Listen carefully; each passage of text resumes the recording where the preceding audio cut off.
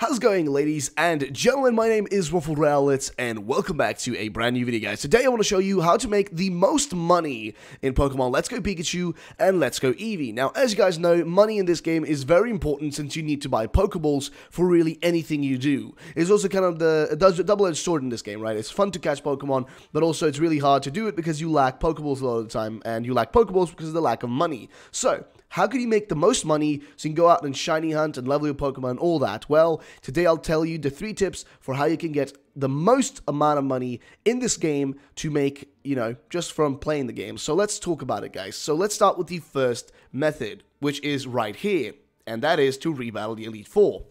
Now, let me explain how you need to do it to make the most money out of it, guys. Now, what you gotta do is you gotta battle the Elite Four, which can give you anywhere from 70,000 Poke Dollars all the way to over $100,000 if you use specific Pokemon with specific moves. Now, let's talk about which ones you would need. You would need to have two level 100 Persians. Now, why would you need these? Well, basically, you need these because they can have the move Payday, and Payday basically is the best move you can possibly have on these two Pokemon, or or these Pokemon in general, because they increase the amount of money you get the more times you use the move in a battle. Now, I used the move about six times in a single battle, and I got an extra 6,000 Poké Dollars, which is a lot of money. So what you got to do is make sure that you have yourself a, uh, you know, two Persians in your team, which I do not have right now, but I do have a different Pokemon. So this is kind of a going to be two information things here at the same time. So like I said, the best possible outcome for a potential 100,000 Poké Dollars is to have two Persians at level 100, which can be, you know, seeming a little bit intimidating to get, you know, or maybe you don't have uh, Meowth sporting in your game because I think it's exclusive to Let's Go Eevee.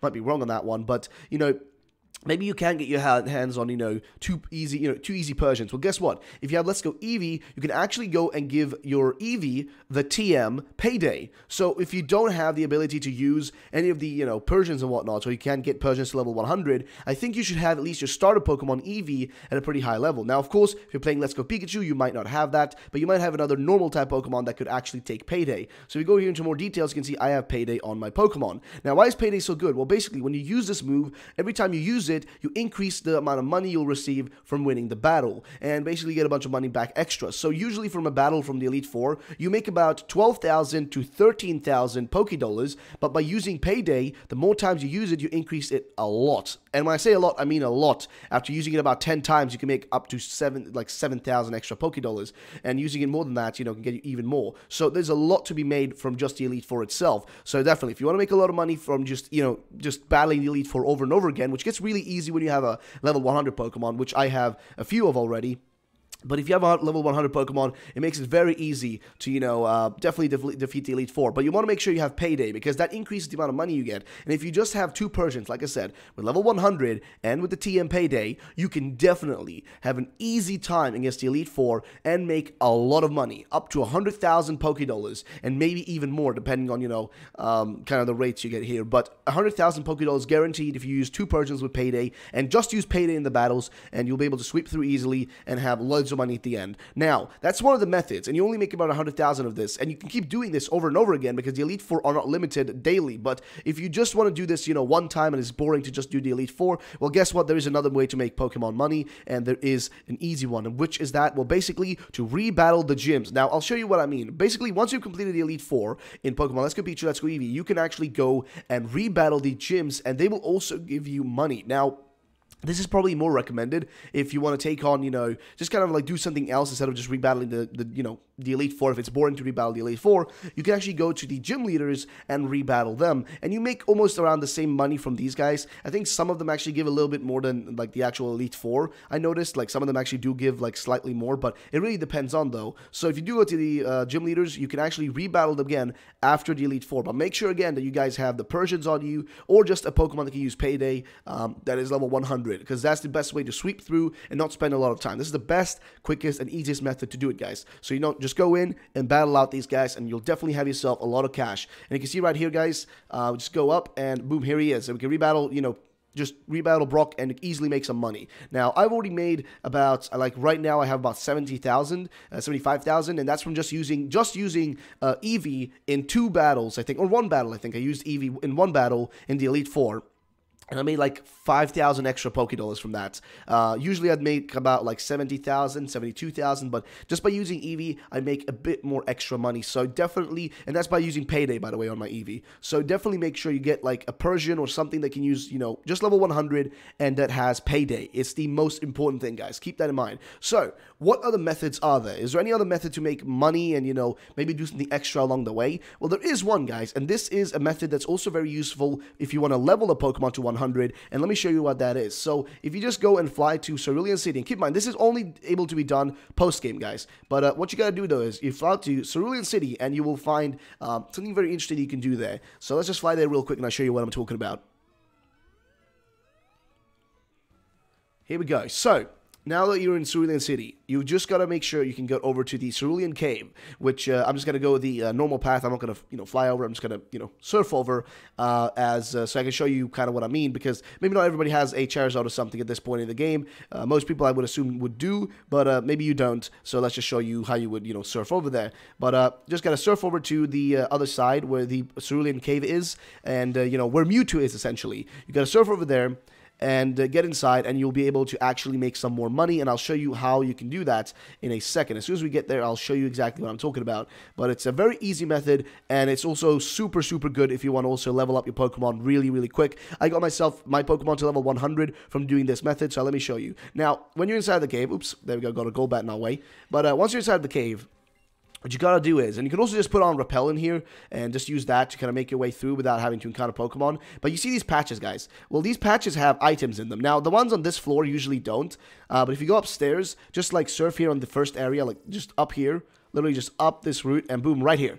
Just gotta stop here, go upstairs and you can just instantly start going for a bunch of items. Now, which sort of items can you find here? Well, I'll show you in a second. Let's just go through and find a few ones in the these patches. Now, they're inside of these patches. It can be like a blue patch like this. It can be a red patch like this. Uh, you can kind of search through all of them and you'll be able to find yourself a item. There you go, golden raspberry. Now, why is a golden raspberry so good? Well, it's a golden one and they're worth a lot more money, guys. You can get about 2000 to $3,000 in this game from these. And look at that golden nanab berry. Now, I think the respawn rate for these is about 10 minutes. So it takes you about 10 minutes to respawn these items. You got an Ultra Ball as well there. There you go. There's also a chance to get a Master Ball, guys. You can actually get a Master Ball from these patches. It's super rare, though, but you can actually get it. So you got another Ultra Ball there, but you can also get, like I said, you can actually get a Master Ball from these patches. Very rare, but it is possible. Golden Nana, Golden Nanab Berry there as well. Uh, let's see if we get anything else up here. Nothing there, and I think we already checked that. No, we haven't checked that patch. We'll check it in a second, but, you know, here you go. Got another one. Great Ball this time. Let's see what else we can get on the other side here because I know I saw a patch right there. So what's the other way you can level here? Well, I'll explain it in a second, but also I'll do a separate video most likely for this. But there's a really easy method for leveling up here. Uh, where do we check that? Let's see. So, boom, there you go. Golden Nana, Golden Nanab Berry again, which again goes for a lot of money, which I'll show you later on as soon as we're done inside the cave. Uh, 10 Ultra Balls. There we go, guys. Look at that. 10 Ultra Balls. Booyah. That's a good catch. That's a really good, that's a rare spawn right there. Um, there you go, lads. So that's what I mean. Like, you can get a lot of good things from this cave just by standing in here. So there you go. We just uh, got ourselves uh, a bunch of berries, and 10 extra Ultra Balls. There you go. I had 9 before, now we got more. So there you go. Now we have 3 golden Nanab berries and 1 golden raspberry. Now these can be worth a lot of Poké Dollars. And also, they're very good when catching Pokemon that are rare. So if you're going for like a Mewtwo or something, uh, you know, or just going for like a legendary Pokemon, which by the way, legendary Pokemon like Articuno, Zapdos, and Moltres actually respawn after you defeat the Elite Four over and over again. So you can catch them several times if you want to. It's really, really, really nice. But, um, Let's go away from this guy. Now, a really good method for leveling in here, guys, which I'm just going to quickly tell you for, you know, just, uh, you know, quick, just a quick purposes, quick purposes, but a good way to level in here is to find Chansey. Now, Chansey is slightly more rare than the other Pokemon in this cave, but if you find a Chansey, definitely go for it, because if you can chain a bunch of Chanseys, which is, you know, the catch combo, if you can catch combo a bunch of Chanseys, they can actually give you upwards to 30,000 experience per catch. Actually, I had a viewer who actually got 60,000 experience from one catch, which actually can give you a Pokemon like, you know, let's say uh, my uh, my my freaking Magikarp over here. You can, you can see the level on that Magikarp. It's 84. That's from just spending 30 minutes inside of this cave doing like, you know, just a little bit of catching. You can get a lot of experience from it, guys. It's really, really crazy, but definitely do that if you want to, you know, just get yourself um, a lot of a lot a lot of experience guys. But just find a chansey uh, in this cave. You know just got to spend a little time to find one. Find a chansey and then just keep catching it over and over again you know in a combo. And don't break the combo by the way but keep catching it and you'll get so much experience guys. That's what I did. You can get all, all the way up to 60,000 experience. And if you get your chain really high you can maybe even get more than that. But there you go guys. That's the cave and that's what you do in the cave. Now let me show you how the actual uh, you know raspberries and you know the golden berries whatever you want to call them uh, how the golden berries how much they go for in the um, the Pokemon. So we're just gonna go and sell those and see how much they go for. Uh, you know, we don't need to actually sell them, but you know, I'll just show you how it looks like and what it goes for. And also, um, if anybody is curious, here's how it looks like when you are surfing on a shiny Gyarados, which looks awesome, by the way. But yeah, there you go, guys. Hope that looks cool. But um, Let's just quickly run down this route and get all ourselves out of this place and go inside the Pokemon. And, uh, you know, I can just show you guys how much they go for. Let's just swim back. We actually fly over, but let's just swim back because, you know, Gyarados looks really cool. So I just want to show you guys this. But yeah, there you go. Look at that beautiful Gyarados, man. I really love the riding Pokemon in this game. It's freaking awesome. But yeah, let's just ride back up and I'll show you how much they go for. Uh, like I said, about 2,500, 2,000 to 3,000, something like that. You know, in, in between that range, range is what they go for. Um, really, really nice pricing for them. So definitely recommend that if you guys are going to go for, uh, you know, um, these uh, berries and whatnot, uh, definitely do it. And just keep in mind that there is a respawn rate, uh, which I think is about 10 minutes. It takes about 10 minutes for them to, you know, respawn the berries again, which is a little bit of time, but uh, definitely worthwhile to stick around for that. So here we go, guys. Let's just see which we can sell them for. And it should be a decent amount of money. So let's just find them real quick. Uh, should be down here. Here we go, guys. So golden raspberry goes for 2,500, and golden nanab berry goes for 2,500 as well. So yeah, there's also another berry which goes does go for more, which I'm not sure which one is. I think it's a golden pinup berry, uh, pinup berry, not pinup, but uh, pinup berry should also go for a decent amount of money. But yeah, there you go, guys. That's gonna be just about it, guys. So just these combined right now, we can sell these for two, uh, these for 5,000, and these combined with uh, you know 7,500. That's that's a good amount of money from like a quick you know search through that cave, uh, which didn't even take that long, like two minutes. So definitely recommended to do that, guys, for some quick cash. If you're really like in need for cash, that is the most recommended thing to do. Just go inside the cave and do that, guys. But yeah, that's going to be the end of this, uh, you know, uh, money making tutorial, guys, in the game. If there are other methods that I've missed, then let me know in the comment section down below, guys. But that is the best method to do to get money in this game. Thank you so much for watching. My name is Ruffled Rowlit. If you guys did enjoy the video, then drop a like down below and also subscribe for future videos, guys. Thank you so much for watching, and I'll see you all the next time. Bye bye.